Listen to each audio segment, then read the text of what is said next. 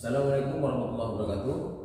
Bertemu kita pada channel yang luar biasa ini, ya para pelajar pencinta otomotif di seluruh Nusantara. Nah, jadi maka kita hari ini mau menunjukkan teknik teknik membuka mur drive puli pada sepeda motor Honda. Jadi teknik membuka Kemudian kita juga akan menunjukkan teknik penguncian mur drive puli pada sepeda motor Honda Beat. Di sini kita untuk membuka kita menggunakan alat ya, alat khusus namanya clutch center holder ini clutch center holder. Kemudian kita menggunakan nanti kunci sok. Nah, ini kunci sok Kemudian nanti pada penguncian murnya kita menggunakan torque wrench atau kunci momen. Sini juga kita menggunakan harus menggunakan buku BPR. BPR. Kemudian yang kita gunakan adalah sepeda motor Honda Beat FI tahun 2016. Oke para pemirsa, sekarang kita buka mur drive pulley menggunakan uh, clutch center holder. Ini wajib kita pakai ini. Ya wajib kita pakai ini. Pasang kita tahan clutch center holdernya. Pasang. Kemudian kita kunci pemegangnya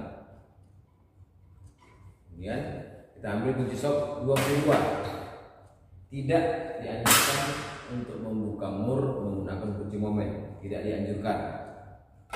Ya, kita harus menggunakan kunci sok dan gagangnya nah kita buka murnya kita buka mur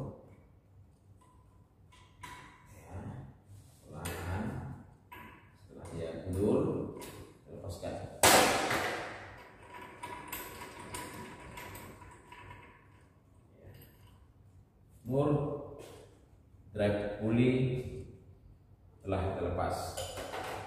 Bagaimana kita menguncinya? Dengan benar, kita menguncinya menggunakan kunci momen. Berapa momen pada mur ini? Kita buka buku manual. Ya, ini buku manual sepeda motor atau kita cari informasi yang benar. Di sini tertera 59 Nm untuk mur drive pulley pada sepeda motor Honda Beat kita set alat kita ini kunci momen kita ini atau torque wrench tadi kita set di posisi 59 Newton meter. Nah, kita lock ini kita putar. Kita perhatikan angkanya. Ada angka 59 Newton meter ada satuannya. Kemudian setelah kita apa kita paskan momennya supaya nanti dia tidak bergerak setelah itu kita lepaskan uh, clutch center holdernya. Ini kita lepas kita geser posisinya. Ya kita geser untuk posisi untuk penguncian ya geser kemudian kita pasang lagi kita pasang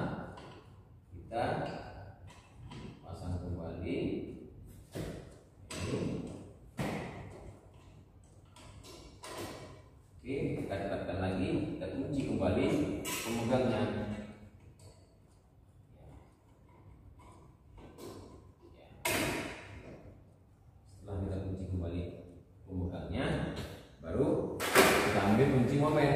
Karena kita mau mengunci kemudian kita kunci e, murnya dengan tangan dulu supaya dia pas posisi alurnya.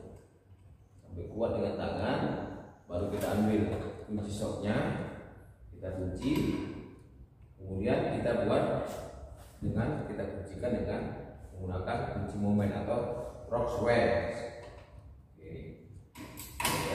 ada bunyi ada suara. Suara dia.